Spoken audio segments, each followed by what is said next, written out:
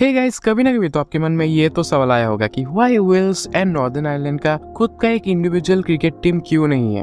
मतलब अगर आप फुटबॉल में देखोगे ना फुटबॉल में इंग्लैंड का इंडिविजुअल टीम है स्कॉटलैंड का इंडिविजुअल टीम है वेल्स का इंडिविजुअल टीम है इनफैक्ट नॉर्दर्न आयरलैंड का भी ना एक खुद का एक इंडिविजुअल टीम है। सो गाइस आज के वीडियो में हम जानेंगे व्हाई एंड नॉर्दर्न आयरलैंड में does not have any cricket team and also जानेंगे क्या पॉसिबिलिटीज है फ्यूचर में, क्या हमें दो न्यू क्रिकेट टीम देखने को मिल सकता है। तो सारा जानकारी ना इस वीडियो में आपको देखने को मिलेगा। देखो गाइस अगर आपको ये चीज़ को ढंग से समझना है तो ना, अभी जो मैं बातें बता रहा हूँ, आप इस बातों को ना ध्यान से सुनो कि यूके क्या होता है ग्रेट ब्रिटेन क्या होता है सिंगल कंट्रीज़ क्या होता है, इस बात को ना आप ध्यान से सुनो, क्योंकि मैं आपको ट्रस्ट में बोलता हूँ this is one of the most complicated thing जो अभी मैं आपको बता रहा हूँ। सो so गैस आपने तो ए ट्रंप के बारे में सुना होगा ब्रिटिश ब्रिटिश आइल्स के बारे में तो आपको सुना होगा। एक्चुअली में ब्रिटिश आइल्स ना, पहले ये पूरा जो आइलैंड है, पूरा आइलैंड को ब्रिटिश आइल्स कहा जाता था। मतलब कि आयरलैंड यूके सभी कुछ को मिलाकर ना, ब्रिटिश आइल्स कहा जाता था। बट 1920s में आयरलैंड एंड यूके के बीच में एक आयरिश वॉर ऑफ़ इंडिपेंडेंस हुआ था, जिसके बाद से जो आयरलैंड है ना, वो यूके से अलग हो गया था एंड खुद से एक सेपरेट कंट्री बन गया था, जो रिपब्लिक ऑफ़ आयरलैंड से आज हम जानते हैं। तो एक, अभी के टाइम में इस रीजन में दो कंट्री है। मतलब कि इंग्लैंड स्कॉटलैंड ये कोई कंट्री नहीं है। इधर दो कंट्री एग्जिस्ट करता है। पहला तो आपका रिपब्लिक ऑफ़ आयरलैंड एंड दूसरा है यूके एंड यूके अंदर चार कंट्रीज़ मिलकर यूनाइटेड किंगडम बनता है। जो फ़र्स्ट है Scotland Northern Ireland Wales and England ये चारों कंट्री को मिलकर ना यूनाइटेड किंगडम बनता है।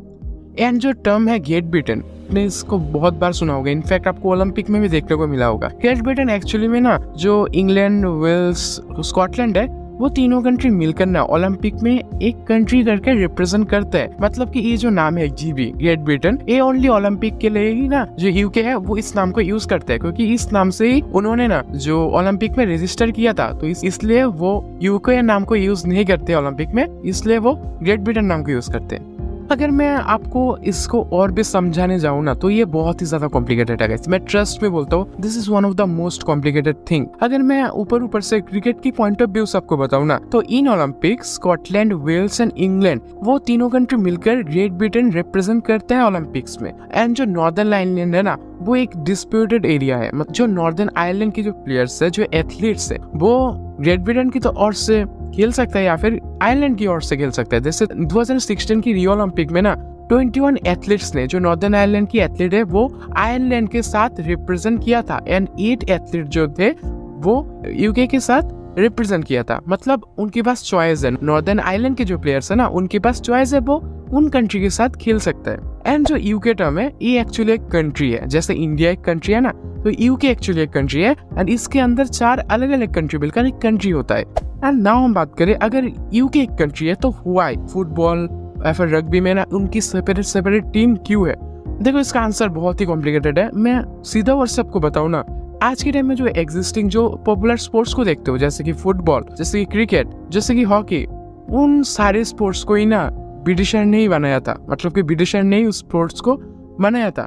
तो इसकी वजह से ना, कुछ तो मतलब आपको लूपहोल देखने को मिलता है। एंड जो इंग्लैंड के क्रिकेट बोर्ड है स्कॉटलैंड के क्रिकेट बोर्ड है वो आईसीसी से पहले एग्जिस्ट करता था तो इसलिए ना, उनकी सेपरेट सेपरेट टीम से। एंड ऑब्वियसली जो कंट्री मतलब इस गेम को बनाया उनके पास तो कुछ हेजमिनी तो ज़रूर होगा। सब समझ चुके होंगे शायद इस बात को। But back to our topic हम फुटबॉल में देखते हैं कि नॉर्दर्न आयरलैंड वेल्स की एक सेपरेट टीम है। बट क्रिकेट में ऐसा क्यों नहीं है?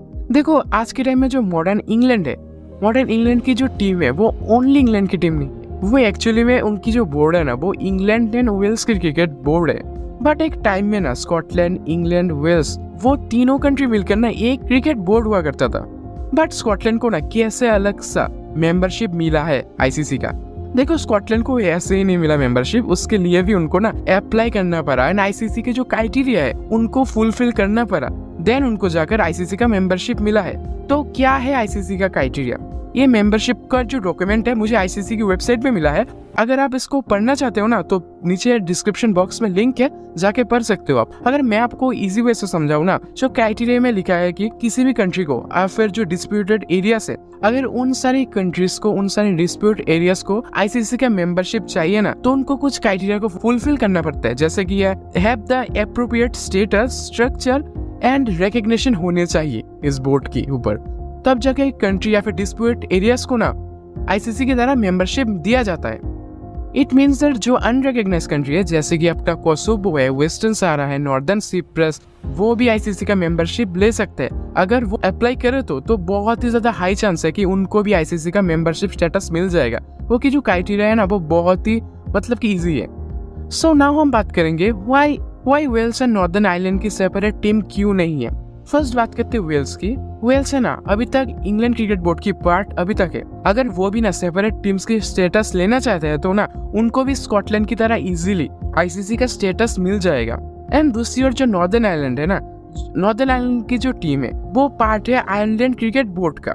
Means Northern Ireland and Republic of Ireland मिलकर एक आयरलैंड बोर्ड रिप्रेजेंट करता है क्रिकेट में। एंड इसलिए ना जो आपको आयरलैंड क्रिकेट की जो फ्लैग है नेशनल फ्लैग है, वो आयरलैंड की फ्लैग आपको देखने को नहीं मिलता है, वो उनके क्रिकेट बोर्ड के जो फ्लैग है उसको यूज़ करते हैं, क्योंकि वो दोनों कंट्रीज़ मिलकर एक क्रिकेट बोर्ड बनता है। अगर किसी नॉर्दर्न आयरलैंड के प्लेयर ना अगर वो इंग्लैंड को रिप्रेजेंट करना चाहता है तो वो भी कर सकता है, क्योंकि नॉर्दर्न आयरलैंड के जो प्लेयर या फिर एथलीट्स है, वो यूके या फिर आयरलैंड को दोनों में से किसी एक को रिप्रेजेंट कर सकते है।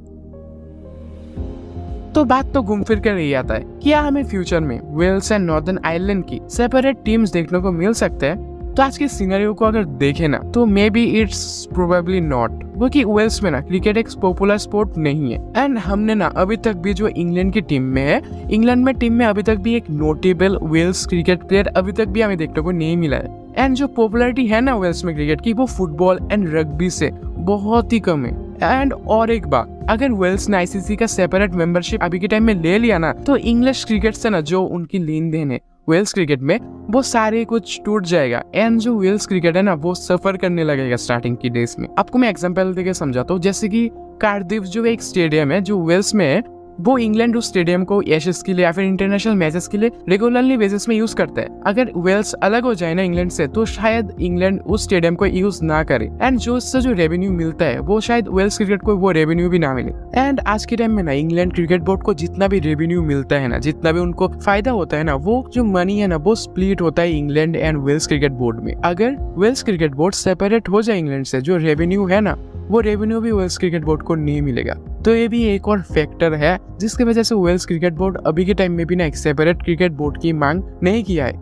एंड आज के टाइम में ना, जो वेल्स में जो क्रिकेट है, वो इतना ज़्यादा भी नहीं होता डोमेस्टिक लेवल पर। बट इसके बावजूद भी, अगर आज के टाइम में वेल्स क्रिकेट टीम एग्जिस्ट करे ना तो वो श्योरली वो वो easily like Bangladesh Zimbabwe Ireland Scotland को इजिली चैलेंज कर सकता है। And also Wales cricket team separate होने के बाद ना ऑल्सो एक प्रोबेबिलिटी है कि open the doors for a Euro Cup in England Wales Scotland Ireland Northern Ireland and Netherlands can take a part yes also Euro Cup की possibilities भी बढ़ा सकता है।